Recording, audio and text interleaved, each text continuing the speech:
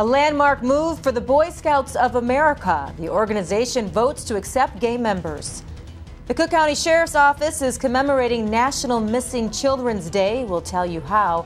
And if you're in the market for a wedding gown, you can now buy one at Target. Good evening, everyone. I'm Dolly McCarthy. Thanks for joining us. We'll have all those stories and more in a moment. But first, your weather on the ones.